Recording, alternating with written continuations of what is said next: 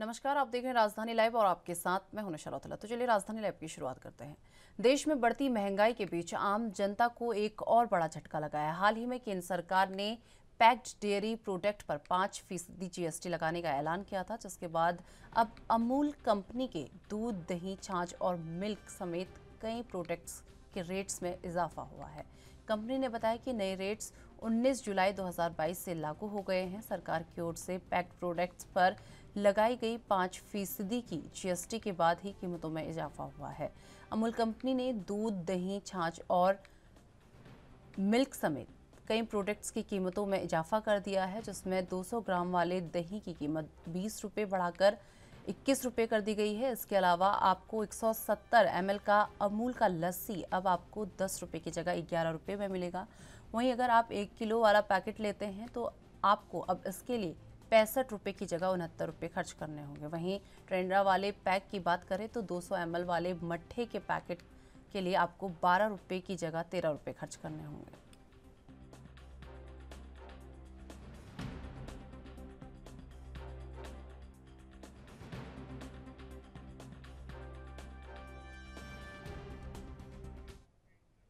तो इस खबर पर अधिक जानकारी के लिए हमारे साथ हमारे संवाददाता राजीव तिवारी हमारे साथ बन चुके हैं। राजीव, अगर बात की जाए, लगातार जिस तरीके से देश में महँगाई बढ़ती जा रही है, उस बीच आम जनता को एक बहुत बड़ा झटका लगा है, क्योंकि अमूल कंपनी ने भी अपने प्रोडक्ट्स में इजाफा किया है। अगर आप दही की बात कर लीजिए, दूध की बात कर लीजिए, घी की बात, छाछ की बात कर लीजिए, अपने रेट्स में यहाँ पे इजाफा हुआ है। क्या कुछ अपडेट आपके पास है? देखिए, बिल्कुल सही कहा आपने। यहाँ पर बात करें केंद्र सरकार के द्वारा कह सकते हैं पैकेट बंद जो दूध थे या फिर कहीं पैकेट बंद जो डेयरी के प्रोडक्ट थे, उन पर कहीं ना कहीं लगा जीएसटी लगा दी, पाँच फ़ीसदी की दर से कहीं ना कहीं जीएसटी लगाई गई और कुछ ऐसी खाने पीने की चीज़, वस्तुएँ थी या फिर कहें जो खाने पीने का सामान था जिस पर जीएसटी नहीं लगता था। अब जीएसटी लगने के बाद में वो प्रोडक्ट जो है वो अब महँगे होते हुए नज़र आ रहे हैं। सबसे बड़ी कंपनी जो है अमूल, उन्होंने भी अब अपने रेटों में इजाफा कर दिया है। यानी कि दही की बात करें, छाछ की बात करें, जो छाछ का पैकेट उन्होंने का एक दस रुपए का आया करता था, आज वो ग्यारह रुपए का हो चुका है और लगातार इस तरीके की दही की बात करें तो दही जो पहले बीस रुपए की आया करती थी, आज वो इक्कीस रुपए की हो चुकी है।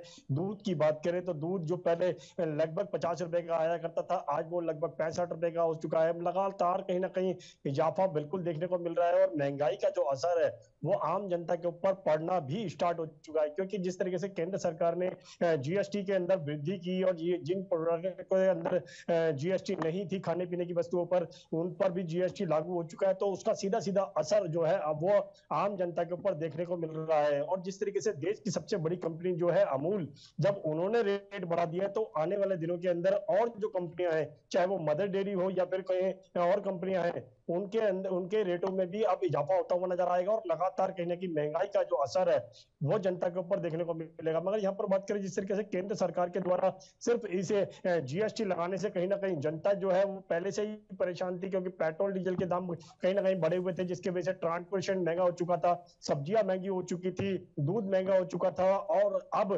दोबारा से कहीं ना कहीं जो महँगाई की जो मार है, वो जनता के ऊपर हुई नज़र आ रही है, क्योंकि अब जीएसटी लगने के बाद भी कहीं ना कहीं जो पैकेट बंद जो दूध है या फिर पैकेट बंद जो प्रोडक्ट है, वो कहीं ना कहीं महँगे हो जाएँगे और जिसकी वजह से अब कहीं ना कहीं असर जो है वो बिल्कुल देखने को मिल रहा है। और जिस तरीके से अमूल की बात करें तो अमूल ने ही कैसे उन्नीस जुलाई से ही इसकी शुरुआत कर दी है। आने वाले दिनों के अंदर मदर डेयरी की बात करें या फिर और कंपनियों की बात करें, वो भी कहीं ना कहीं अपने रेटों में इजाफा करती हुई नज़र आएगी। और सीधा सीधा असर जो है, वो आम जनता की रसोई के ऊपर पड़ता हुआ नज़र आएगा। और आम जनता जो है, वो कहीं ना कहीं अब बिल्कुल परेशान हो चुकी है। और इसी को लेकर विपक्ष जो है, सदन के अंदर भी और सदन के बाहर भी हंगामा करता हुआ नज़र आ रहा है। जी। राजीव जिस तरीके से बात की जाए, अमूल कंपनी ने अपने जिन प्रोडक्ट्स का दाम बढ़ाया है, वो रोज़ाना हमारी ज़िंदगी में कहीं ना कहीं काम आते हैं। आप दूध वगैरह, ये सारी चीज़ें जो है, रोज़ाना कहीं ना कहीं हम अपनी ज़िंदगी में इसका सेवन करते हैं और ये हमारी ज़िंदगी में रोज़ाना हमारे ज़िंदगी में काम आते हैं। तो इसी के मद्देनज़र अगर बात की जाए तो लोगों की जेब में इसका सीधा सीधा कितना असर देखने को मिल रहा है, राजीव? देखिए, बिल्कुल सही कहा आपने। यहाँ पर बात करें, जिस तरीके से दूध की बात करें, क्योंकि दूध एक ऐसी वस्तु है जो लगातार कहीं ना कहीं हर परिवार के साथ, हर व्यक्ति के लिए ज़रूरत है, क्योंकि दूध चाहिए तो चाय भी बनानी पड़ेगी। चाय चाय और दूध बच्चों के लिए भी चाहिए होता है, बड़ों के लिए भी चाहिए होता है और ये ऐसी जो वस्तु, ऐसे जो प्रोडक्ट है जो सुबह भी चाहिए और शाम को भी चाहिए। तो कहीं ना कहीं हर तरीके से कोई गेस्ट आ गया तो चाय चाहिए या फिर कहे दूध के प्रोडक्ट चाहिए तो लगातार जिस तरीके से इन प्रोडक्टों पर जिस तरीके से जीएसटी लगी है या फिर कहे जीएसटी बढ़ा दी गई है तो उससे कहीं ना कहीं जनता के ऊपर बिल्कुल भार पड़ता हुआ नज़र आएगा और महँगाई का जो असर है वो बिल्कुल देखने को मिल रहा है। जिस तरीके से अब अमूल ने ही इसकी शुरुआत की है तो आने वाले दिनों के अंदर मदर डेयरी की बात करें, क्योंकि मदर डेयरी का भी दूध इस्तेमाल किया जाता है और दही इस्तेमाल की जाती है आइसक्रीम इस्तेमाल की जाती है मिल्क प्रोडक्ट इस्तेमाल किए जाते हैं तो कहीं ना कहीं उनके ऊपर भी इजाफा होता हुआ नज़र आएगा। और सीधा सीधा असर जो है, जो केंद्र सरकार ने जीएसटी लागू की है, उससे कहीं ना कहीं आम जनता जो है, वो परेशान होती नज़र आ रही है, क्योंकि अभी तक इनकम नहीं बढ़ी है, ना ही व्यापार बढ़ा है, मगर जिस तरीके से महँगाई बढ़ी है, उससे तो कहीं ना कहीं आम जनता जो है, वो परेशान है, और जनता से जब अपनी राय लेने की कोशिश करी कि उनके सुझाव क्या है, या फिर क्या है, वो जनता से क्या चाहते हैं, सरकार से क्या चाहते हैं? तो लगातार उन्होंने कहा कि जिस तरीके से महँगाई बढ़ रही है, उससे तो साफ़ ज़ाहिर है कि आने वाले समय के अंदर भी। कहीं ना कहीं जो सांस लेना भी, उस पर भी टैक्स लगाया जाएगा, उस पर भी जीएसटी लगाई जाएगी। तो सोचिए, सांस लेने में भी कहीं ना कहीं सरकार की मंजूरी लेनी होगी। मगर यहाँ पर जिस तरीके से खाने पीने की वस्तुओं पर जीएसटी या फिर कहे जीएसटी में वृद्धि की गई है, उससे तो साफ़ ज़ाहिर है कि जनता जो है वो बिल्कुल परेशान हो चुकी है। शायद इसका असर जो है आने वाले चुनावों के अंदर भी देखने को मिल सकता है। जी। राजीव, जिस तरीके से बात की जाए, कल भी महँगाई को लेकर जो है विपक्ष द्वारा हंगामा किया गया, प्रदर्शन किया गया तो लगातार विपक्ष द्वारा जिस तरीके से महँगाई को लेकर प्रदर्शन किया जा रहा है, इसी के मद्देनजर आज महँगाई को लेकर कहीं पर प्रदर्शन हो सकता है राजधानी में। देखिए, बिल्कुल सही कहा आपने। बात करें विपक्ष की तो विपक्ष लगातार सदन के अंदर भी केंद्र सरकार को घेरने की कोशिश कर रहा है और लगातार महँगाई के मुद्दे को लेकर लगातार कहीं ना कहीं घेरा जा रहा है। परसों भी इसी तरीके से प्रदर्शन किए गए थे यूथ कांग्रेस की तरफ़ से भी और कल भी प्रदर्शन किया गया विपक्ष की तरफ़ से भी। सदन के अंदर भी कहीं ना कहीं हंगामा किया जा रहा है, केंद्र सरकार को घेरा जा रहा है कि खाने पीने की वस्तुओं पर भी जीएसटी लगा दिया है तो जिससे कहीं ना कहीं महँगाई जो है वो बढ़ चुकी है।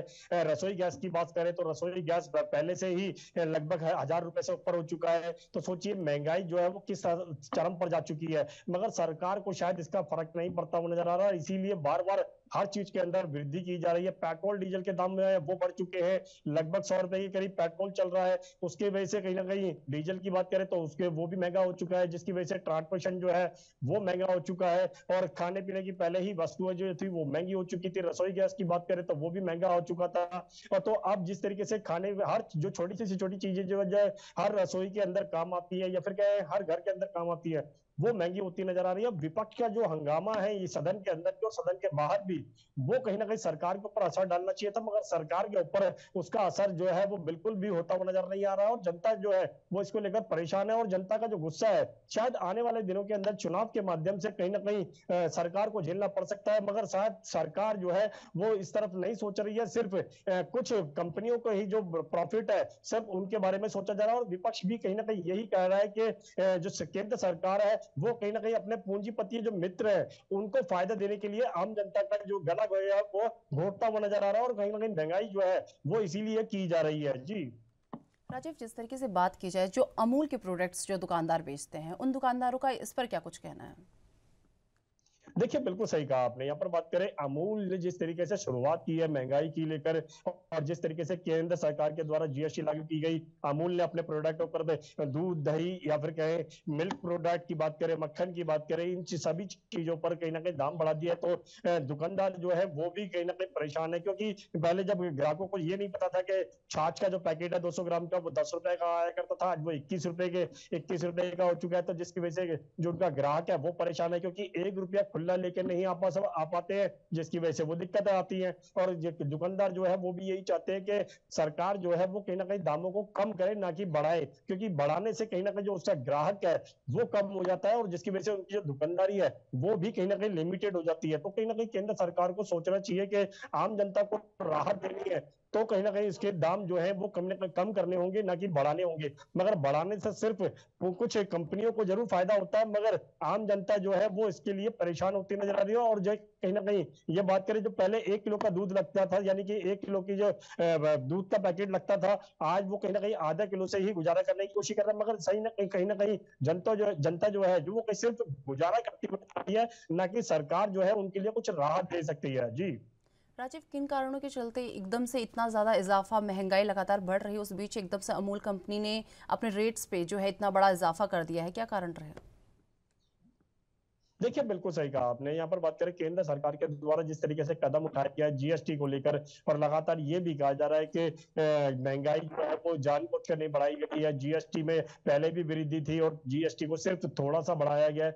उस थोड़े से कहीं ना कहीं आम जनता के ऊपर बिल्कुल असर पड़ता है, क्योंकि अपर क्लास की बात करें तो अपर क्लास को बिल्कुल एक रुपए या दो रुपए से कोई फ़र्क नहीं पड़ने वाला, मगर जो मिडिल क्लास है या फिर ग्राउंड क्लास का जो लोग है, वो उनके ऊपर सीधा सीधा असर देखने को मिलता है। और क्योंकि रसोई गैस जो है, वो पहले पहले से ही हज़ार रुपए सिलेंडर हो चुका है, हज़ार रुपए से ऊपर जा चुका है तो उसको लेकर पहले से ही महँगाई जो है वो जनता के ऊपर देखने को मिल रहा है। खाना बनाना बिल्कुल भारी पड़ता है, क्योंकि सब्ज़ियाँ जो है वो भी महँगी हो चुकी है। लगातार दूध के जो प्रोडक्ट थे, वो भी अब महँगे हो चुके हैं तो उससे कहीं ना कहीं परेशानियाँ जो है वो जनता की बढ़ती हुई नज़र आ रही है। उन परेशानियों को कम करने के लिए केंद्र सरकार को कुछ ऐसे उपाय करने चाहिए, जिससे जनता को राहत मिले, मगर जनता के लिए शायद केंद्र सरकार नहीं सोच रही है। जी।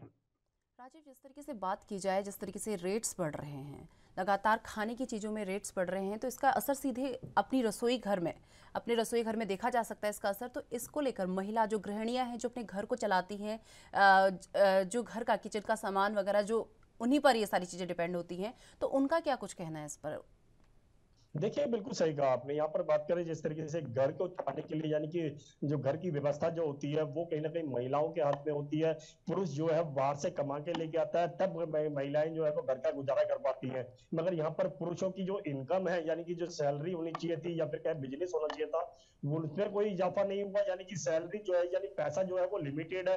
घर की बात करें तो घर की जो कहते हैं, महिलाएँ जो घर चलाती है, रसोई का व्यवस्था करती है, जब उनको सब्ज़ी खरीदने जाना पड़ता है तो वो महँगी मिलती है। जिसकी वजह से वो सब्ज़ी नहीं खरीद पाती है या फिर क्या है कम खरीदना पड़ता है। दूध की बात करें तो दूध जिस तरीके से महँगा हुआ है तो आने वाले दिनों के अंदर अमूल की बात करें, अमूल ने तो रेट बढ़ाई दी है, मगर मदर डेयरी की बात करें या फिर डीएमएस की बात करें, वो भी रेट दामों में इजाफा करेंगे। मगर कहीं ना कहीं जो घर की व्यवस्था है वो भी महिलाओं का जो गुस्सा है वो कहीं ना कहीं अब केंद्र सरकार की तरफ़ भी निकलने लगा है। बार बार ये कहा जा रहा है कि महिलाएँ जो है वो परेशान है घर का गुजारा नहीं कर पा रही है बच्चों को खाना नहीं दे पाती हैं और कहीं ना कहीं जब कोई गेस्ट आ जाता है तो चाय वगैरह का इंतज़ाम करने के लिए भी उन्हें दस बार सोचना पड़ता है। तो सोचिए कहीं ना कहीं केंद्र सरकार को इसकी तरफ़ सोचना चाहिए। मगर केंद्र सरकार की तरफ़ से कोई भी ऐसा कदम नहीं उठता हुआ नज़र आ रहा है जिससे कहीं ना कहीं जो महिलाएँ हैं या फिर घर की जो व्यवस्था है वो दोबारा से पटरी पर आ चुकी आ, आ सकते हैं। मगर यहाँ पर बात करें जिस तरीके से महिलाओं का गुस्सा भी कहीं ना कहीं केंद्र सरकार की तरफ़ देखने को मिल रहा है। शायद सीधे सीधा कहे तो महिलाएँ हो या पुरुष हो,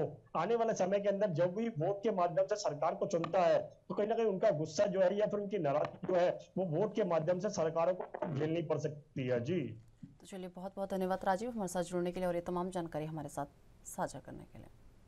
तो आपको बता दें कि उत्तर प्रदेश के 22 लाख से अधिक सरकारी कर्मचारियों और पेंशनरों के परिवारों को कैशलेस इलाज की सुविधा मिलने का सिलसिला 21 जुलाई यानी आज से शुरू हो जाएगा। मुख्यमंत्री योगी आदित्यनाथ लोक भवन में दोपहर 12 बजे से इसका विधिवत शुभारंभ करेंगे। इस मौके पर सीएम कुछ कर्मचारियों और पेंशनरों को हेल्थ कार्ड भी देंगे। योजना का लाभ देने के लिए स्वास्थ्य विभाग के पोर्टल पर सरकारी कर्मियों और पेंशनरों का पंजीकरण भी शुरू कर दिया है। भाजपा ने लोक कल्याण संकल्प पत्र में सभी कर्मचारियों और पेंशनरों को कैशलेस इलाज की सुविधा देने का वादा किया था। राज्य सरकार ने इसे अमली जामा पहना दिया है और मुख्यमंत्री योगी आदित्यनाथ गुरुवार को पंडित दीनदयाल उपाध्याय राज्य कर्मचारी कैशलेस चिकित्सा योजना को विधिवत आरंभ करेंगे और इस योजना से राज्य कर्मचारियों और पेंशनरों के अलावा उनके परिवार भी लाभान्वित होंगे। ऐसे में लाभुकों की संख्या 80 लाख के करीब होगी। आपको बता दें, इन परिवारों को आयुष्मान योजना में पंजीकृत सभी निजी अस्पतालों में प्रतिवर्ष पाँच लाख रुपए तक के इलाज की मुफ़्त सुविधा मिलेगी, जबकि सरकारी अस्पतालों में इसका पूरा खर्च सरकार वहन करेगी। सभी कर्मचारियों का हेल्थ कार्ड होगा, जिस पर एक यूनिक नंबर दिया जाएगा।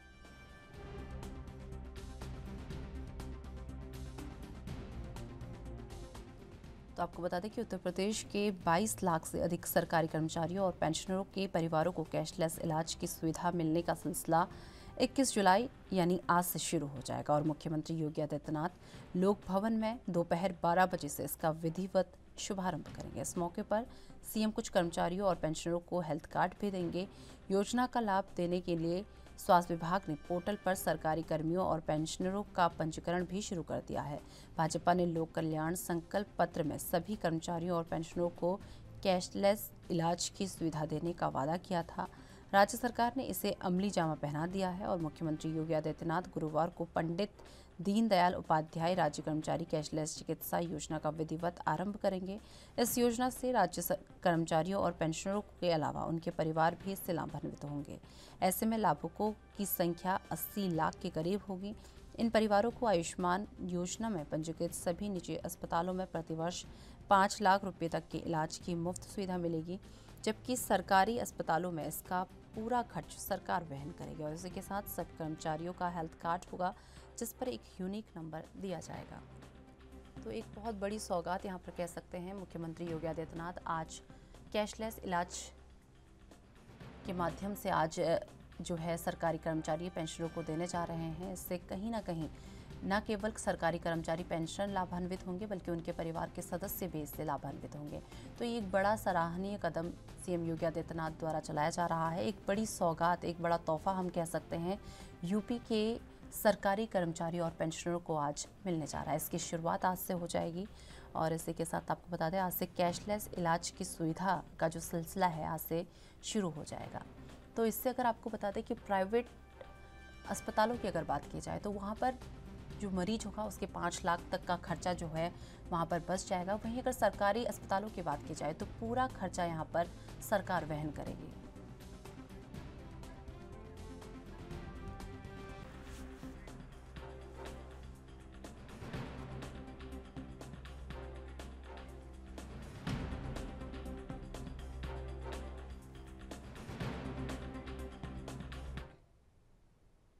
पर अधिक जानकारी के लिए हमारे साथ हमारे संवाददाता जितेंद्र चौहान हमारे साथ जुड़ चुके हैं। जितेंद्र, अगर बात की जाए, आज सीएम योगी आदित्यनाथ जो है कैशलेस इलाज की सुविधा का शुभारंभ उनके द्वारा किया जाने वाला है।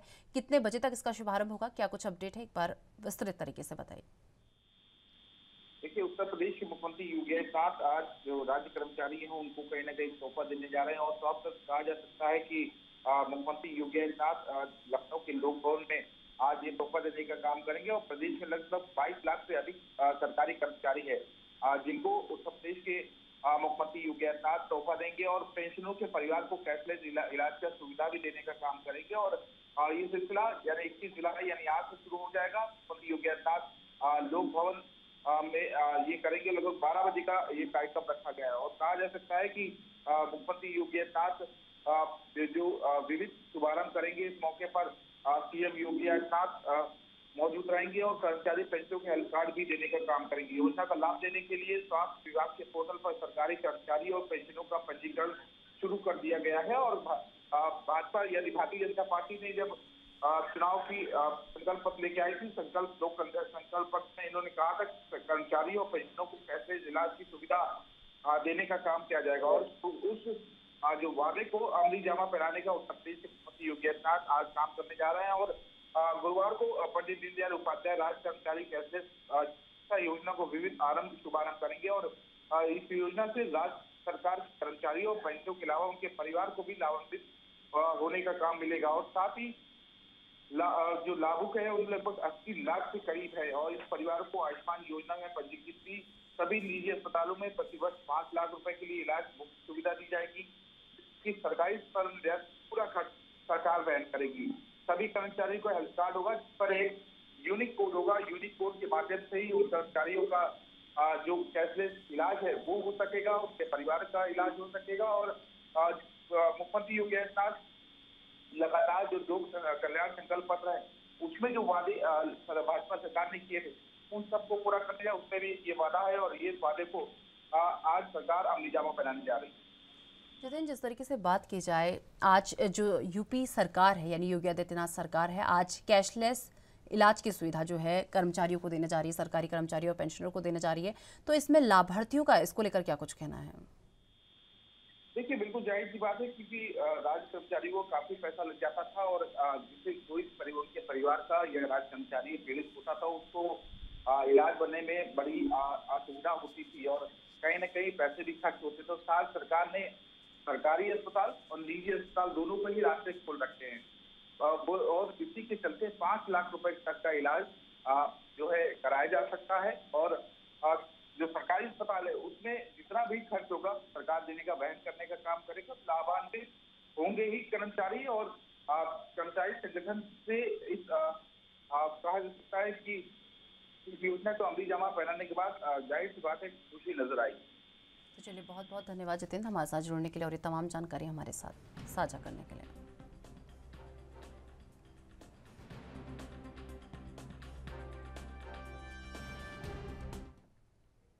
मुंबई क्राइम ब्रांच ने एक बड़ी कार्रवाई को अंजाम देते हुए चार ऐसे महाठगों को गिरफ़्तार किया है जो बीजेपी विधायक राहुल कुल को महाराष्ट्र की नई सरकार में कैबिनेट मंत्री का पद दिलाने के नाम पर 100 करोड़ की मांग कर रहे थे। विधायक के सचिव द्वारा इसकी जानकारी दिए जाने के बाद मुंबई क्राइम ब्रांच की टीम ने एक फाइव स्टार होटल में ट्रैप लगाया और चारों महाठगों, रियाज शेख, योगेश कुलकर्णी, सागर सगवाई और जाफ़र अहमद को गिरफ़्तार कर लिया है। चारों आरोपी महाराष्ट्र के ही रहने वाले हैं। दरअसल, महाराष्ट्र में एकनाथ शिंदे के नेतृत्व में नई सरकार का गठन दो सप्ताह पहले हो गया था, लेकिन मंत्रिमंडल का विस्तार कब और इसमें किस किस का नाम होगा, इस पर फ़िलहाल सभी की निगाहें टिकी हुई हैं। इसके चलते कई विधायक एकनाथ शिंदे और देवेंद्र फडणवीस के बंगले के चक्कर लगा रहे हैं। इसी बात का फ़ायदा लेने की फिराक में चारों आरोपियों ने विधायक राहुल कुल को कैबिनेट मंत्री पद दिलाने के नाम पर धोखाधड़ी करने की कोशिश की। इतना ही नहीं, आरोपी ने विधायक को विश्वास दिलाने के लिए पहले फ़ोन किया और कहा कि वो दिल्ली से आए हैं और बड़े मंत्री साहब ने उनका बायोडेटा जो है, उसके बारे में पूछा है। इसके बाद दो से तीन बार फ़ोन पर विधायक कुल से आरोपियों ने बातचीत की और कहा कि उन्हें अगर कैबिनेट में मंत्री पद चाहिए तो उन्हें 100 करोड़ रुपए देने होंगे। फ़ोन पर हुई बातचीत के बाद 17 जुलाई को आरोपियों ने ओबेरी होटल में विधायक से मुलाकात की और इस बैठक में आरोपियों ने विधायक के साथ 90 करोड़ की डील तय की, जिसमें से 20 प्रतिशत अभी देना होगा और बाकी के पैसे मंत्री पद की शपथ के बाद। इसके बाद 18 जुलाई को 18 करोड़ लेने के लिए, आरोपी पैसे लेने के लिए पहुँचे। उससे पहले ही क्राइम ब्रांच के हत्ते चढ़ गए।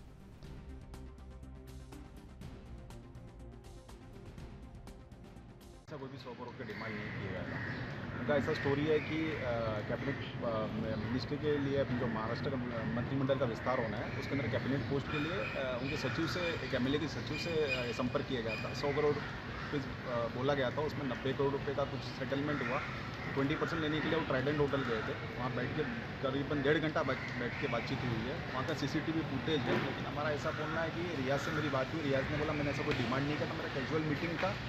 काफ़ी टाइम संपर्क हुआ है। वो कोल्हापुर के रहने वाले रियाज हैं और बाकी जो विधायक हैं वो एक दूसरे से संपर्क करते रहते तो बैठ के बातें थी लेकिन इस तरीके से प्लान करके उनको फंसाया गया है। बाकी उनसे कुछ लेना देना नहीं उन्होंने किसी को प्रॉमिस नहीं किया कि कोई दिल्ली में उनको कैबिनेट पोस्ट दिलाने वाला है। कोर्ट में क्या दलील दी गई आपकी तरफ़ से? क्योंकि पुलिस का ने जो दलील दी है उसमें एफआईआर कॉपी में उन्होंने मैंशन किया है कि लगातार संपर्क किया जा रहा था। सौ करोड़ रुपये की मांग की जा रही थी। नब्बे करोड़ में डील डल हुई थी।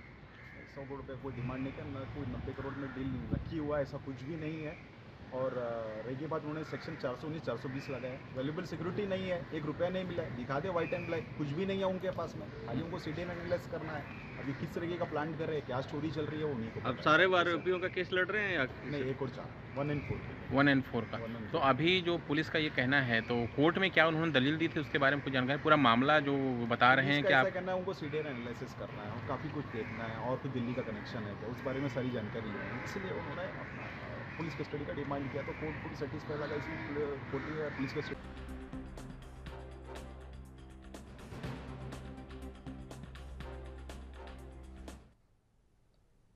तो इस खबर पर अधिक जानकारी के लिए हमारे साथ हमारे संवाददाता सत्यप्रकाश सोनी हमारे साथ जुड़ चुके हैं। सत्यप्रकाश मुंबई क्राइम ब्रांच ने चार महाठकों को गिरफ़्तार किया है। चार महाठक कौन है? क्या है इनका पूरा बैकग्राउंड एक बार पूरी अपडेट बिल्कुल देखिए महाराष्ट्र में एक बार फिर से सौ करोड़ का मामला सामने आया है, लेकिन इस बार सरकार में मंत्री बनाने को लेकर सौ करोड़ की मांग की गई थी। दरअसल कोल्हापुर के भाजपा विधायक राहुल कुल को एक फ़ोन आया कि उन्हें अगर एकनाथ शिंदे गु- गुट की सरकार में अगर मंत्री बनना है तो उन्हें सौ करोड़ रुपए देने होंगे। हालाँकि यह बात तब सामने आई जब वो, जो चारों महाठग गिरफ़्तार किया गया है, उन्होंने कहा कि वह दिल्ली से आए हुए हैं और बड़े नेता के सं- संपर्क में है। हालाँकि बड़े नेता का नाम भी बताया है, लेकिन क्योंकि आधिकारिक तौर पर मीडिया के सामने बात तो नहीं आई, इसलिए नाम नहीं ले सकते, लेकिन ज़ाहिर तौर पर भारतीय जनता पार्टी के बड़े नेताओं का नाम सामने आया है। जिनके कहने पर यह चार लोग दिल्ली से आए थे और सौ करोड़ की मांग की। न सिर्फ़ मांग की, बल्कि इस पूरे डील में नब्बे करोड़ की जो है डील तय हुई विधायक के साथ, और विधायक ने उन्हें अठारह करोड़ दे भी दिया, जिसके बाद पूरा मामला प्रकरण में आया। हालाँकि विधायक के सचिव ने इस पूरे मामले में मुंबई क्राइम ब्रांच को जानकारी दी। क्राइम ब्रांच ने चार महाठगों को गिरफ़्तार किया है, जिसमें रियाज से अतुल कुलकर्णी, सागर सगवई और जाफ़र अहमद। तो इन चारों की गिरफ्तारी हुई है। यह चारों का संपर्क भारतीय जनता पार्टी से कैसे है, इसकी जाँच की जा रही है फ़िलहाल। लेकिन जो बातें सामने खुलकर आई है कि इन लोगों ने सीधे तौर पर खुला ऑफ़र दिया था कि अगर आपको कैबिनेट में जगह चाहिए तो उन्हें सौ करोड़ देने होंगे, जो भारतीय जनता पार्टी के तमाम बड़े नेताओं को देने हो। तो इस तरह की बात हुई। उसके बाद इन सब की मुलाकात मुंबई के फाइव स्टार में हुई, जहाँ पर डील तय की गई। डील तय करने के बाद जब पैसे लेने आए, तभी उनकी गिरफ्तारी हुई है। तो ज़ाहिर तौर एक बड़ा मामला है। फ़िलहाल इसकी क्राइम ब्रांच जाँच कर रही है। सत्यप्रकाश, जिस तरीके से अगर बात की जाए जो विधायक राहुल कुल हैं, जिनसे सौ करोड़ की मांग की गई थी, उनका इस मामले पर क्या कुछ कहना है?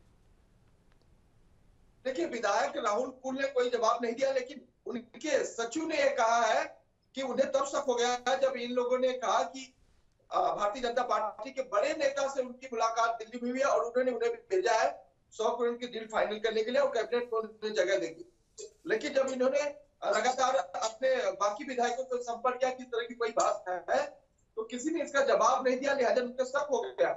इसी शक के आधार पे कंप्लेन हुई जिसमें इन चारों की गिरफ्तारी हुई। सत्यप्रकाश अभी तक जो मुंबई क्राइम ब्रांच है उसने इन ठगों से क्या क्या पूछताछ अभी तक कर ली है? देखिए सबसे अहम कड़ी मुंबई की क्राइम ब्रांच यह निकालने की कोशिश कर रही है कि क्या भारतीय जनता पार्टी के किसी बड़े नेता से सच में इनके संपर्क है या नहीं है? ये जो अठारह करोड़ रुपया ले रहे थे, ये किसके लिए ले रहे थे? सौ करोड़ को जो डील हुई थी, किसके कहने पर डील हुई थी? और सौ, इनके क्या संपर्क महाराष्ट्र सरकार में है? एक नाथ शिंदे गुट से है या देवेंद्र फडणवीस गुट से है? तो इनके संपर्क किससे है? इस तरह की जानकारी निकाली जा रही है। लेकिन प्राथमिक जानकारी यह मिली है कि इनके संपर्क जो है, भारतीय जनता पार्टी के बड़े नेताओं से है। लिहाजा इसी के फ़ायदा उठाकर वह उन्हें इस तरह की डील का जो है हवाला देकर पैसे की उगाही करना चाहते हैं? सत्यप्रकाश जिस तरीके से बात की जाए इन चारों ठगों के वकीलों ने जो वकील हैं उन्होंने कोर्ट में क्या क्या दलीलें पेश की हैं? देखिए कोर्ट में विधायक की तरफ़ से बताया गया है कि ये तमाम जो बातें हैं वो इन चारों ने की है। इन्होंने उनका बायोडाटा की जानकारी मांगी। इन्होंने ये बताया कि कैबिनेट में उनकी पहचान है। महाराष्ट्र सरकार में उन्हें कैबिनेट मंत्री बना सकते हैं। और ऐसे कई लोगों को उन्होंने हवाला दिया कि हम लोगों ने संपर्क किया है, उन्हें भी मंत्री बनाने की बात चल रही है। फ़िलहाल महाराष्ट्र में जिस तरह से देखा जा रहा है कि पिछले दो हफ़्ते में सरकार बनने के बाद भी मंत्रिमंडल का अभी तक विस्तार नहीं हुआ, मंत्रिमंडल अभी भी बनाया नहीं गया है। लिहाजा कई ऐसे विधायक हैं जो देवेंद्र फडणवीस और एक नाथ शिंदे के बंगले के इर्द गिर्द घूमते हुए नज़र आते हैं। शायद इसी का फ़ायदा उठाकर इस तरह की बातें सामने और प्लानिंग की गई है। लिहाजा क्राइम ब्रांच ही अब इस पूरे मामले में खुलासा कर सकेगा कि आखिरकार इन चारों को जो गिरफ्तारी हुई है उनके संपर्क भारतीय जनता पार्टी के किन किन नेताओं से है? सत्यप्रकाश जो ये चार लोगों की गिरफ्तारी हुई है तो क्राइम मुंबई क्राइम ब्रांच ने इन्हें कहाँ से गिरफ़्तार किया है? देखिए मुंबई क्राइम ब्रांच को जानकारी मिली थी कि ओबेरा एक होटल में यह लोग जो है मीटिंग करने वाले हैं और वहीं से पैसे की डील होने वाली है। क्योंकि जो अठारह करोड़ देने थे ओबेरा होटल में देने थे तो ज़ाहिर तौर पर इनकी गिरफ्तारी जो है मुंबई के फाइव स्टार होटल ओबेरा में सत्यप्रकाश वहीं अगर बात की जाए जिस तरीके से यहाँ पर सौ करोड़ का मामला सामने आया है सौ करोड़ की मांग यहाँ पर उन ठगों द्वारा की गई है क्या ये पहला केस है या इससे पहले भी इन ठगों ने इस तरीके की जो कार्रवाई है इस तरीके की जो चीज़ें हैं घटना है इनको अंजाम दिया है?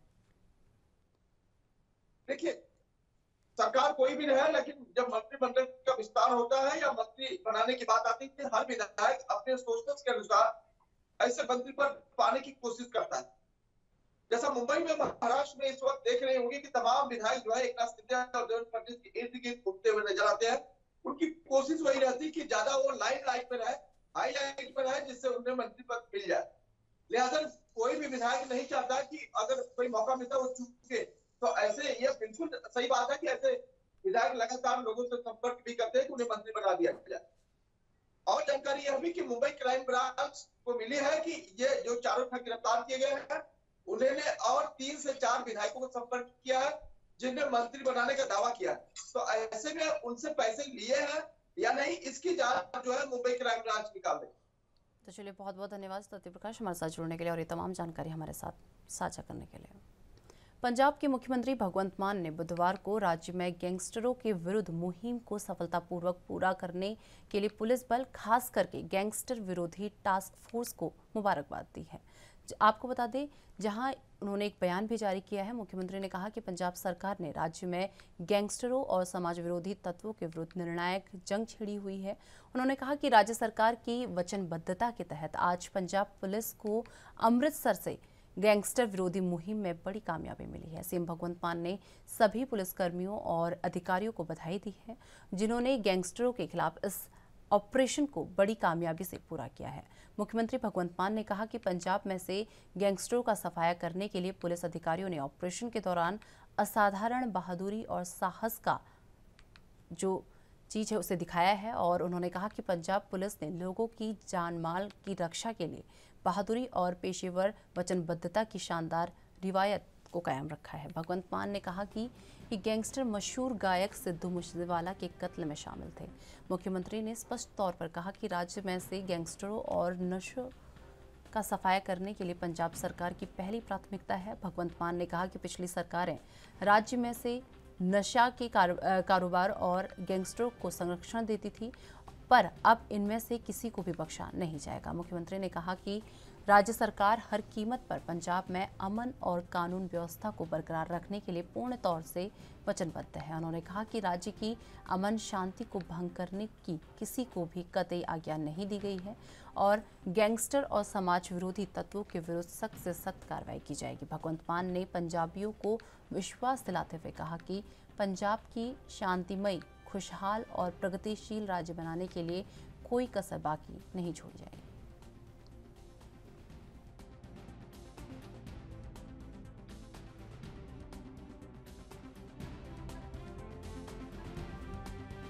आपको बता दें कि पंजाब के मुख्यमंत्री भगवंत मान ने बुधवार को राज्य में गैंगस्टरों के विरुद्ध मुहिम को सफलतापूर्वक करने के लिए पुलिस बल, खास करके गैंगस्टर विरोधी टास्क फोर्स को मुबारकबाद दी है और उन्होंने एक बयान भी जारी किया जिसमें मुख्यमंत्री भगवंत मान ने कहा कि पंजाब सरकार ने राज्य में गैंगस्टरों और समाज विरोधी तत्वों के विरुद्ध निर्णायक जंग छेड़ी है।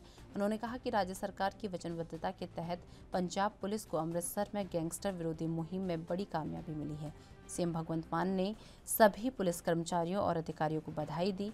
उन्होंने गैंगस्टरों के खिलाफ इस ऑपरेशन को बड़ी कामयाबी से पूरा किया है।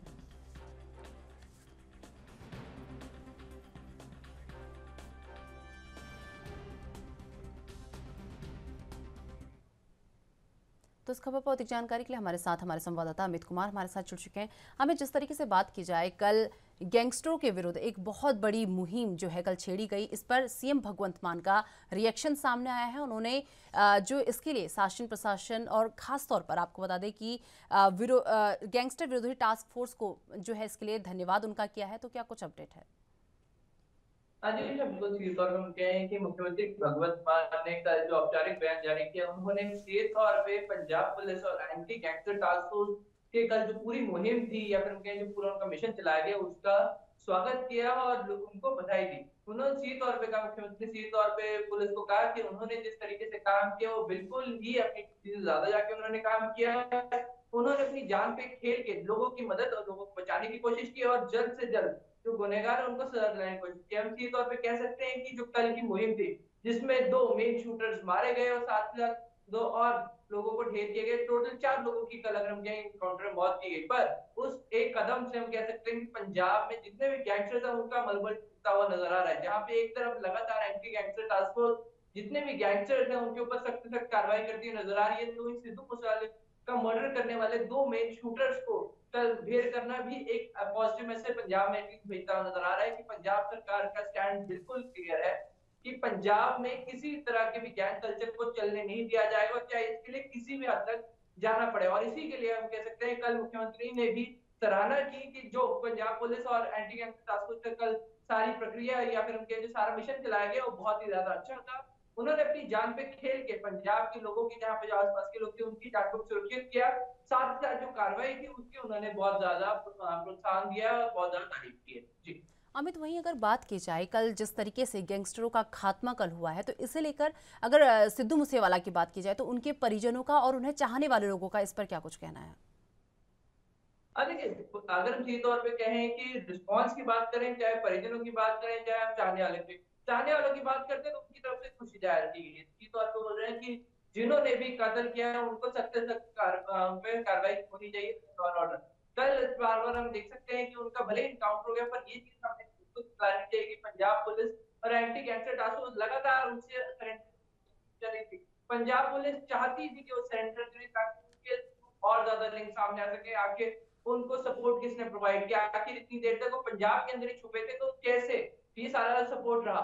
तो यही सब चीज़ों को लेकर वो बार बार यही अपील कर रहे थे कि उस गैंगस्टर्स को कि आप लोग सरेंडर कर पर उन्होंने सरेंडर नहीं किया और लगातार जवाबी फायरिंग करते रहे। जिसके बाद पुलिस को भी वापस जवाबी फायरिंग करनी पड़ी क्योंकि तीन के तीन सिविलियंस तीन पुलिसकर्मी और तीन सिविलियन जख्मी हो गए थे। उस चीज़ को देखते हुए उन्होंने अपनी तरफ़ से एक्शन लिया और जवाबी कार्रवाई में वो लोग मारे गए। पर इसका रिस्पॉन्स हम बोलते हैं तो बहुत ज़्यादा स्वागत किया है लोगों ने कि लोगों ने कहा जो कदम उठाया गया। इससे जितने भी गैंगस्टर्स हैं पंजाब में उनके हौसले टूट रहे हैं और इस तरीके से एंटी गैंगस्टर टास्क फोर्स काम कर रही है।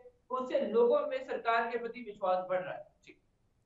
अमित, जिस तरीके से बात की जाए, आम आदमी पार्टी की अगर हम यहाँ पर बात कर ले, जो अभी सरकार सत्ता पर है, उसकी अगर हम बात कर ले आम आदमी पार्टी की तो अगर बात की जाए तो सिद्धू मूसेवाला हत्याकांड के बाद हमने देखा कि कहीं ना कहीं आप जो है सवालों के घेरे में घिरता हुआ नज़र आया। लेकिन अब अचानक से जिस तरीके से कल एनकाउंटर हुआ है, गैंगस्टर जो है कल मारे गए हैं तो अब आपकी स्थिति, जिस जिस, जहाँ पर वो सवालों से घिरती हुई नज़र आ रही थी तो अब कितनी राहत मिलती हुई नज़र आ रही है? अरे राहत की बात नहीं बोलेंगे। देखिए, हम सीधे तौर पर कह सकते हैं कि जो एक कदम उठाया गया पंजाब पुलिस से, इससे हम कह सकते हैं कि जो सरकार में लोगों का विश्वास कम होता हुआ नज़र आ रहा था, जो लॉ एंड सिचुएशन अनस्टेबल होती हुई नज़र आ रही थी, इस बड़े कदम से वो काफ़ी हद तक स्टेबलाइज हो जाएगी। सरकार की बात करते हैं कि कल खुद मुख्यमंत्री भगत मान ने ट्वीट किया, पंजाब पुलिस की सराहना की, उसके अलावा पंजाब के सभी कैबिनेट मिनिस्टर्स ने भी ट्वीट किया चाहे वो हरजोत बैंस हो अनमोल गगनमान हो, मीत हेयर हो, हरपाल चीमा हो, उन सबने ही ट्वीट करके अपनी तरफ़ से पुलिस का धन्यवाद किया और उनका प्रोत्साहन बढ़ाया। तो इस सब चीज़ों से हम ये चीज़ बिल्कुल देख सकते हैं कि पंजाब पुलिस को सरकार का पूरा सपोर्ट है कि चाहे कितने कड़े कदम क्यों ना उठाने पड़े। सरकार उनके साथ खड़ी है और सरकार का support, full hundred percent support होने से ये होता है कि पुलिस बिना किसी डर से काम कर सकती है और बिना किसी डर के अगर पुलिस काम करती है तो उन्हें कोई भी अपराधियों को सजा से रोक नहीं सकता। तो ये एक क्लियर कट मैसेज भी गया है लोगों और इससे सरकार की इमेज वापस उठती हुई नज़र आ रही है तो पुलिस के लिए भी लोगों का भरोसा और ज़्यादा बढ़ गया है। तो चलिए बहुत बहुत धन्यवाद अमित हमारे साथ जुड़ने के लिए और ये तमाम जानकारी हमारे साथ साझा करने के लिए। तो फ़िलहाल वक्त चुके एक छोटे से ब्रेक का। ब्रेक के बाद फ़ौरन हासिल होता है।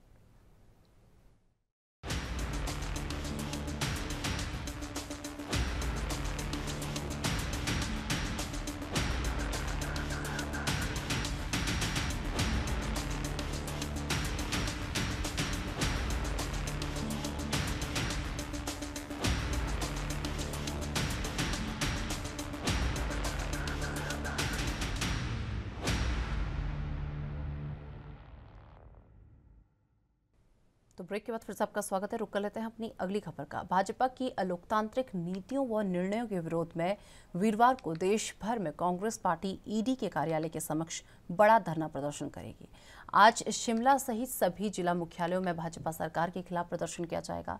कांग्रेस के राष्ट्रीय प्रवक्ता कुलदीप सिंह राठौर ने कहा कि देश में बढ़ रही विघटनकारी ताकतों के खिलाफ कांग्रेस राहुल गांधी के नेतृत्व में भारत जोड़ो पदयात्रा करेगी और ये पदयात्रा 148 दिनों की होगी, जो 12 राज्यों व दो केंद्र शासित राज्यों से होकर गुजरेगी। अखिल भारतीय कांग्रेस कमेटी के प्रवक्ता कुलदीप राठौर ने कहा कि केंद्र की मोदी सरकार राजनीति प्रतिशोध की भावना से कांग्रेस के नेताओं पर झूठे मुकदमे बनाकर परेशान करने की कोशिश कर रही है। देश के जलवंत मुद्दों से जनता का ध्यान भटकाने के लिए विपक्ष के आवाज़ को दबाने का प्रयास किया जा रहा है। कुलदीप राठौर ने कहा कि गुरुवार को कांग्रेस की राष्ट्रीय अध्यक्ष सोनिया गांधी को ईडी ने नेशनल हेराल्ड अखबार के कथित धन शोधन मामले में पूछताछ के लिए बुलाया है, जबकि इसी मामले में कांग्रेस के पूर्व राष्ट्रीय अध्यक्ष राहुल गांधी से कई दिनों तक, कई घंटों तक पूछताछ की गई। उन्होंने कहा कि इसमें कोई भी धन शोधन नहीं हुआ है और ये मामला पहले भी जाँच पूरी करने के बाद बंद किया जा चुका है। राठौर ने आरोप लगाया कि आज भाजपा के शासनकाल में लोकतंत्र के साथ साथ संवैधानिक संस्थाओं को भी कमज़ोर करने की कोशिश की जा रही है। राज्य की गैर भाजपा सरकारों को अस्थिर किया जा रहा है। देश में सांप्रदायिक सौहार्द को बिगाड़ने की कोशिश की जा रही है।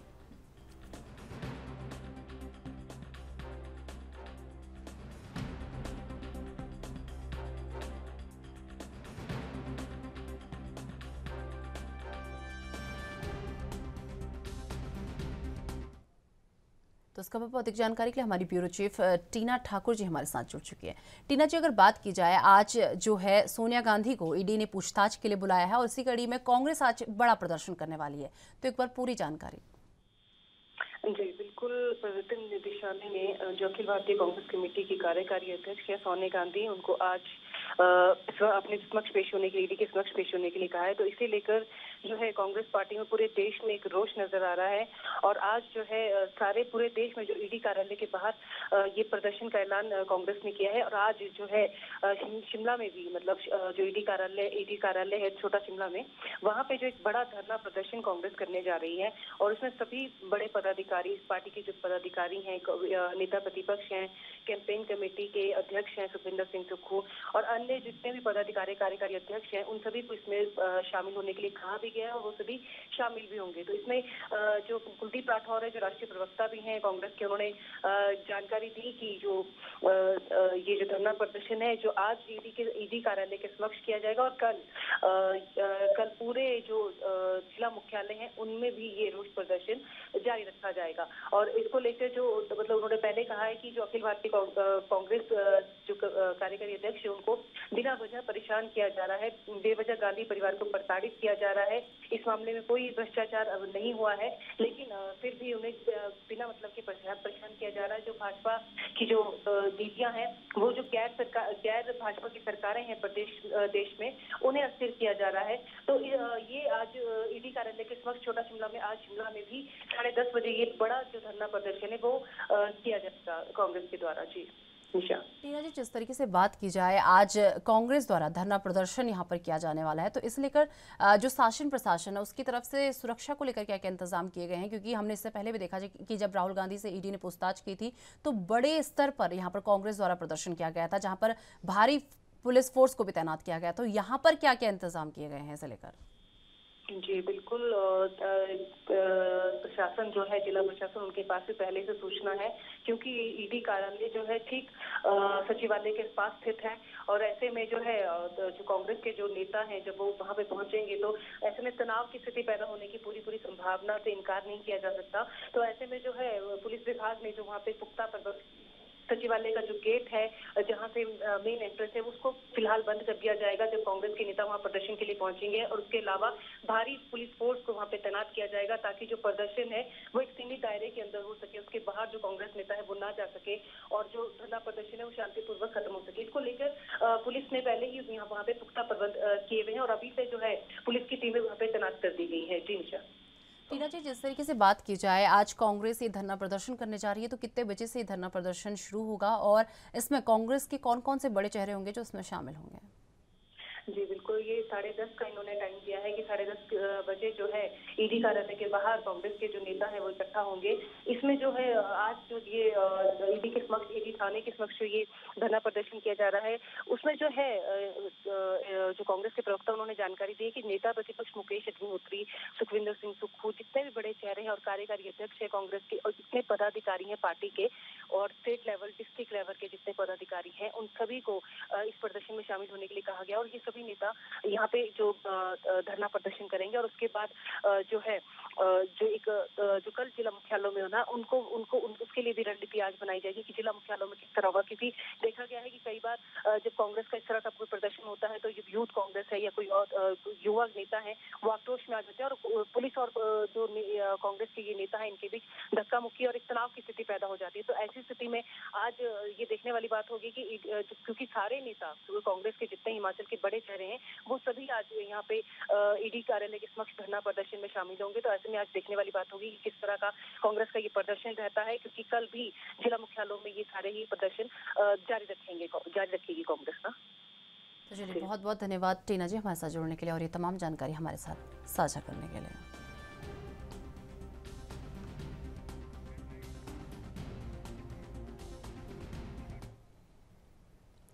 छत्तीसगढ़ में मंत्री टीएस सिंहदेव के पंचायत विभाग में इस्तीफे के बाद छत्तीसगढ़ की राजनीति में मची उथल पुथल अब चुनावी विधानसभा तक पहुँच चुकी है। और मानसून सत्र के पहले दिन आपको बता दें कि टीएस सिंहदेव के इस्तीफे का मुद्दा सदन में गुजा। विपक्ष ने इस व्यवस्था का प्रश्न बताकर सरकार से जवाब मांगा। विपक्ष के हंगामे के चलते सदन की कार्रवाई 10 मिनट के लिए स्थगित कर दी गई थी और भाजपा विधायक अजय चंद्रकार ने शून्यकाल में मंत्री टीएस सिंहदेव द्वारा दिए गए इस्तीफे का मामला सदन में उठाया। अजय चंद्रकर ने कहा कि सिंहदेव के इस्तीफे से प्रदेश में संवैधानिक संकट की स्थिति बन गई है और इस पूरे मामले में मंत्री और मुख्यमंत्री का जवाब आना चाहिए। विधानसभा अध्यक्ष ने इस पर आपत्ति जताते हुए कहा कि मंत्री द्वारा मुख्यमंत्री को लिखा गया पत्र व्यवस्था का प्रश्न नहीं है। भाजपा विधायक ब्रजमोहन अग्रवाल ने कहा कि मंत्री के निर्णय को सचिव की समिति अंतिम रूप देगी। ये कहाँ की व्यवस्था है? मंत्री, में दम है तो इस्तीफा दें। उन्होंने कहा कि प्रकरण के निराकरण तक सदन की कार्रवाई स्थगित करें, पर इस पर आस्ती ने सभापति से कहा कि इस विषय पर चर्चा नहीं हो सकती है। विपक्ष ने इस पर आस्ती से चर्चा के लिए व्यवस्था की मांग की है। विपक्ष इस पूरे मुद्दे पर चर्चा की मांग कर रहा कर रहा है और मंत्री, मुख्यमंत्री की ओर से जवाब की मांग भी जनता कांग्रेस, छत्तीसगढ़, जोगी के विधायक धर्मजीत सिंह ने भी सरकार की ओर से स्थिति स्पष्ट की है। इससे पहले छत्तीसगढ़ विधानसभा का मानसून सत्र बुधवार से शुरू हो गया है।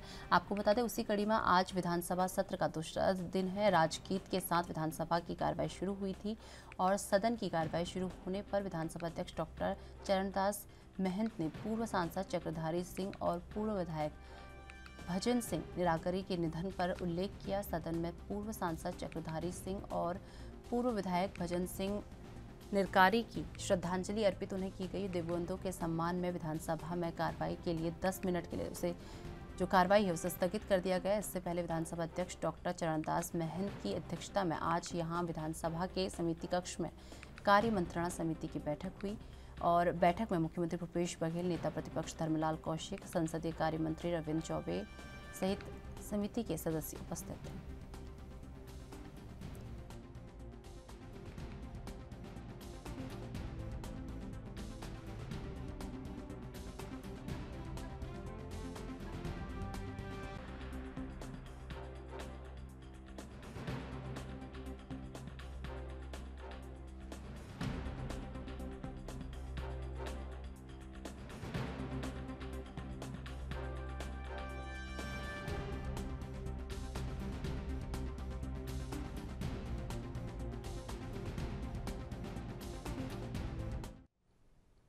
अधिक जानकारी के लिए हमारे साथ हमारे ब्यूरो चीफ स्वाति कौशिक जी हमारे साथ जुड़ चुकी है। स्वाति जी आज छत्तीसगढ़ विधानसभा मानसून सत्र का आज दूसरा दिन है तो इसे लेकर क्या कुछ अपडेट आपके पास है? आज मानसून सत्र का दूसरा दिन है। सदन कल की तरह आज भी हंगामेदार रहने के पूरे आसार है। कल आ, कुछ सवालों पर हंगामा हुआ लेकिन मेन जिस हंगामे की उम्मीद की जा रही थी वही था कि टीएस बाबा के पंचायत विभाग से इस्तीफे के बाद उसी विषय पर कल हंगामा हुआ, दो बार उस चीज़ को लेकर बहिर्गमन भी हुआ, स्थगन भी हुआ, स्थगित हुआ सदन तो आज जैसा कि कल कल शाम ही तय हो चुका था विपक्ष द्वारा कि आज वो स्थगन प्रस्ताव लेकर आएँगे, लेकिन ये चूँकि 48 घंटे का पूरा प्रोसीजर होता है तो उसको देखते हुए कल उन्होंने डेढ़ सौ विषयों पर अपना अविश्वास प्रस्ताव जो है वो विधानसभा सचिवालय को सूचित कर दिया है, लेकिन ये अड़तालीस घंटे का प्रोसीजर होता है तो कल देने के बाद आज इस पर डिस्कशन का कोई आसार नहीं दिख रहा है, लेकिन आज जो महत्वपूर्ण चीज़ होने जा रही है विधानसभा में, अनुपूरक बजट जो है उस पर पहला अनुपूरक बजट है इस इस सत्र का तो वो मुख्यमंत्री जी उसको लेकर आने की तैयारी में है, और इसके साथ अनुपूरक बजट के बाद बाकी जो कार्य है वो संपादित होगा जिसमें ध्यान आकर्षण में कुछ मुद्दे हैं जिस पर डॉक्टर रेणु जोगी विधायक हैं।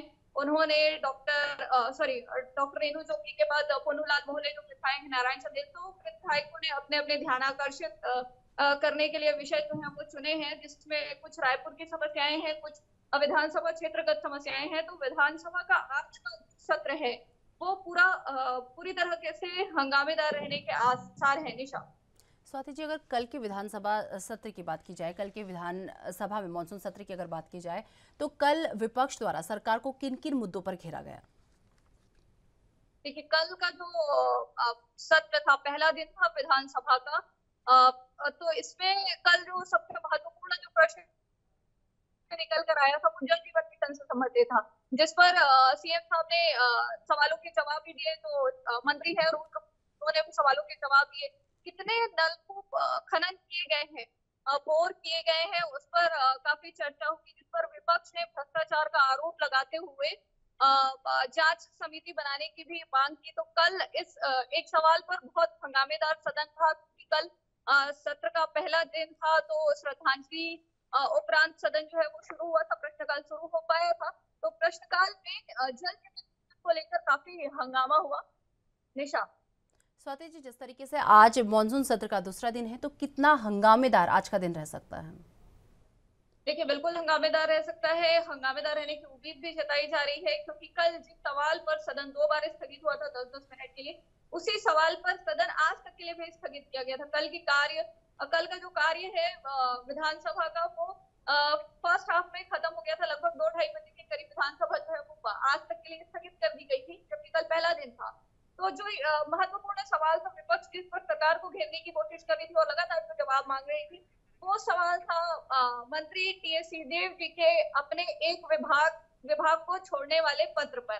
क्योंकि वो पत्र सार्वजनिक हो चुका है चार पन्नों का पत्र है उन्होंने सरकार पर सरकार से कुछ चीज़ों का जवाब मांगते हुए एक पत्र जो है वो भेज दिया है अपने एक विभाग को छोड़ने को लेकर। तो उसी पर विपक्ष लगातार सरकार को घेरने की कोशिश कर रही है और उनका आरोप जो सरकार पर लग रहा है वो यही है कि आपके अपने मंत्री इस विषय पर आ, इस शासनकाल में खुश नहीं है।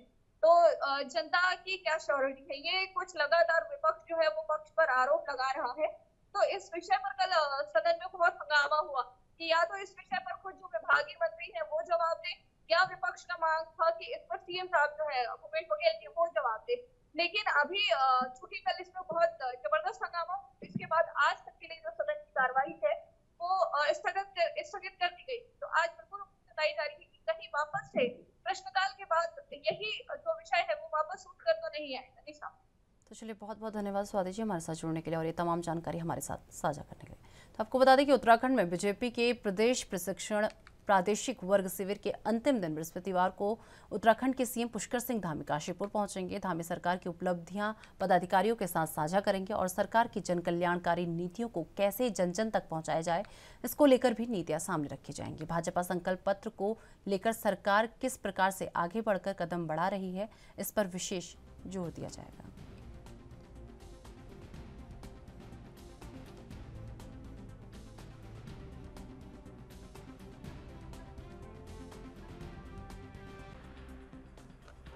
तो आपको बता दें कि आज सीएम पुष्कर सिंह धामी जो हैं, काशीपुर पहुँचने वाले हैं और यहाँ पर जो है उत्तराखंड में बीजेपी के प्रदेश प्रशिक्षण प्रादेशिक वर्ग शिविर के अंतिम दिन, बृहस्पतिवार को उत्तराखंड के सीएम पुष्कर सिंह धामी काशीपुर पहुँचेंगे और धामी सरकार की उपलब्धियों और पदाधिकारियों के साथ साझा करेंगे और सरकार की जन कल्याणकारी नीतियों को कैसे जन जन तक पहुँचाया जाए, इसको लेकर भी नीतियाँ सामने रखी जाएँगी।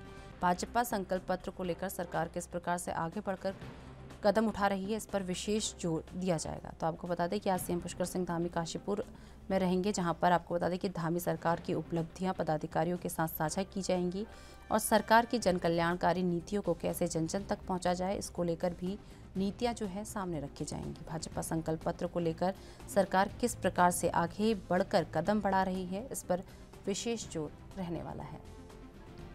तो उत्तराखंड के बीजेपी के प्रदेश प्रशिक्षण प्रादेशिक वर्ग शिविर के अंतिम दिन बृहस्पतिवार को उत्तराखंड के सीएम पुष्कर सिंह धामी काशीपुर पहुँचेंगे और इसी के साथ आपको बता दें कि धामी सरकार की उपलब्धियाँ पदाधिकारियों के साथ साझा करेंगे और सरकार की जन कल्याणकारी नीतियों को कैसे जन जन तक पहुँचाया जाए, इसको लेकर भी नीतियाँ जो है सामने रखी जाएँगी और भाजपा संकल्प पत्र को लेकर सरकार किस प्रकार से आगे बढ़कर कदम बढ़ा रही है, इसे लेकर विशेष ज़ोर दिया जाएगा।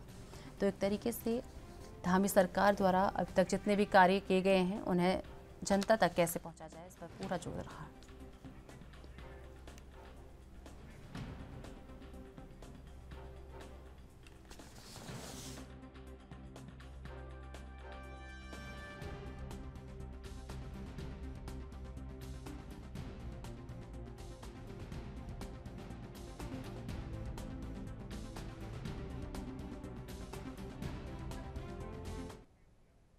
खबर पर अधिक जानकारी के लिए हमारे साथ कुमाऊं हेड अमित चौधरी जी हमारे साथ जुड़ चुके हैं। अमित जी, बात की जाए सीएम पुष्कर सिंह धामी की तो आज वो काशीपुर पहुँचने वाले हैं तो क्या क्या कार्यक्रम रहने वाला है? एक बार पूरी अपडेट। देखिए निशा, काशीपुर में बीजेपी का प्रशिक्षण शिविर कार्यक्रम चल रहा है। तीन दिवसीय कार्यक्रम यह है, उन्नीस तारीख को इसकी शुरुआत की गई थी और उद्घाटन सत्र के बाद यहाँ पर विशेष नीतियों को लेकर जिस प्रकार से नरेंद्र मोदी ने जो कार्य किए हैं, उसकी कहीं ना कहीं सत्र के दौरान चर्चा की गई। पहले दिन यानी उन्नीस तारीख को तीन सत्र किए गए और दूसरे दिन यानी कल यहाँ पर छह सत्र किए गए हैं। तो कुल मिला के अभी तक नौ सत्र हो चुके हैं और तीन दिन के अंदर चौदह सत्र यहाँ पर हो रहे थे। आज पाँच सत्र बीजेपी के द्वारा इस प्रशिक्षण शिविर में किए जाएँगे और उन सत्रों में यहाँ पर कहीं ना कहीं लगातार जो भाजपा के द्वारा जो कार्य किया जा रहा है देश और प्रदेश के लिए, उस सभी चीज़ों का ब्यूरो कहीं ना कहीं इसमें दिया जा रहा है। खुद सीएम पुष्कर सिंह धामी करीब एक बजे कार्यक्रम में पहुँचेंगे और करीब चार बजे तक वो यहाँ रहेंगे। क्योंकि आज समापन होना है, समापन सत्र आज होना है तो उसके समापन के बाद ही वो देहरादून के लिए रवानगी करेंगे और इस बीच जो प्रदेश में जो कार्य उनकी तरफ़ से किए गए, उनकी सरकार की तरफ़ से किए गए, उन सभी का लेखा जोखा जो पदाधिकारी है, उन तक यहाँ पर रखना है। करीब 190 प्रदेश के जो यहाँ पर मोर्चे हैं, जो उस पर उनके पदाधिकारियों की यहाँ पर लगातार प्रशिक्षण शिविर कार्यक्रम चल रहा है, जिसमें सत्रों के दौरान यहाँ पर लगातार उन कार्यों की उल्लेखना की जा रही है, जो कार्य यहाँ पर बीजेपी के द्वारा किए जा रहे हैं, जिसमें कृषि की अगर बात करें क्षेत्र में तो लगातार उसमें क्या कार्य बीजेपी के द्वारा किए गए हैं, ड्रोन यहाँ पर जो योजना लाई जा रही है, उसका क्या फ़ायदा यहाँ पर होना है? पदाधिकारियों को कहीं ना कहीं तैयार किया जा रहा है आने वाले समय के लिए, क्योंकि आने वाले समय में यहाँ पर निकाय चुनाव होने हैं, लोकसभा चुनाव होने हैं, उसके बाद पंचायत चुनाव होने हैं तो बीजेपी का जो परफॉर्मेंस है, वो लगातार आगे बढ़ता रहे। और जनता तक, यहाँ तक जन जन तक बीजेपी के द्वारा जो कार्य किए गए हैं, जो नीतियाँ हैं बीजेपी की, वो कैसे पहुँचे उसके लेकर के ये शिविर बेहद ही अहम है। और इसमें जो तो तमाम संगठन हैं, भाजपा के जो मोर्चे हैं, भाजपा के तमाम विंग हैं, उन सभी के पदाधिकारी इस यहाँ पर कृषि शिविर में भाग ले रहे हैं उनके पदाधिकारी। और पूरी तरीके से यहाँ पर इन तीन दिनों में कहीं ना कहीं एक वर्कशॉप कहीं ना कहीं की जा रही है उन कार्यकर्ताओं के साथ और आगामी कार्यक्रम यहाँ पे किए जा रहे हैं। पुष्कर सिंह धामी की बात करें तो यहाँ करीब एक बजे पहुँचेंगे और तो चलिए अमित जी हमारे साथ जुड़ने के लिए बहुत बहुत धन्यवाद और ये तमाम जानकारी आपने साझा की इसके लिए भी बहुत बहुत धन्यवाद। तो फ़िलहाल राजधानी लाइव में मेरे साथ बस इतना ही। देश दुनिया की तमाम बड़ी खबरों के लिए देखते रहिए ए न्यूज़। नमस्कार।